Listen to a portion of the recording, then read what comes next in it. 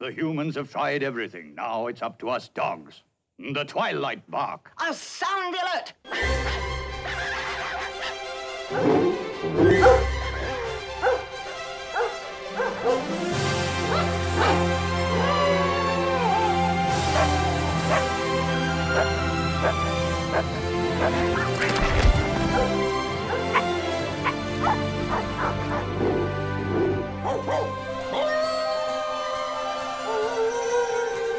Gary, quit it. You're gonna start a howl. I didn't start it.